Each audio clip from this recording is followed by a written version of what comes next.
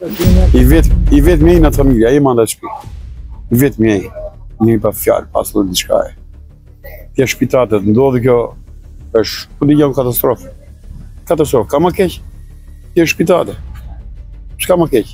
Një ngjarje tragjike ndodhi më 15 korrik në një pallat në Elbasan, ku një shpërthim tritoli, drejtuar ndaj motrave Alda dhe Xhovana Nikolli, përfundoi me pasoja fatale për komshiun e tyre, Enea Themollari. Enea, njëzet e nëntë vjeç, qëndroi për tre muaj në gjendje kome, por fatkeqësisht humbi jetën për shkak të komplikimeve shëndetësore. Mësohet se Enea ishte i vetmi që mbante familjen e tij. Babai i tij ishte i paralizuar, nëna dhe vëllai gjithashtu të sëmurë, dhe Enea punonte për të siguruar të ardhurat e tyre. Kjo e bën humbjen edhe më të rëndë për familjen e tij, një dhimbje që ka prekur thellë komunitetin përreth.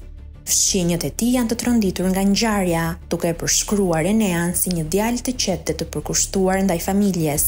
Shumë prej tyre janë shprehur se është e pabesueshme që një i ri, në shtëpinë e tij pësoi një fat të tillë tragjik. Ata ndjehen të zhgënjyer që autori i ngjarjes nuk është kapur ende dhe për motrat Nikolli thonë se ato janë larguar nga Shqipëria. Hetimet e policisë kanë treguar se objektiv i sulmit ishin motrat Nikolli, ndërsa Enea ishte viktimë aksidentale.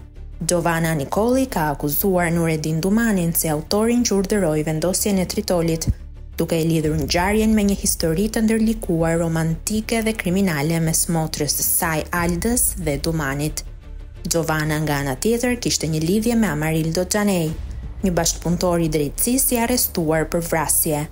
Xhanej i ndaluar në Vlorë pranoi të bashkëpunonte me autoritetet, dhe dha dëshmi për disa krime të cilat janë ende në proces hetimi nga SPAK.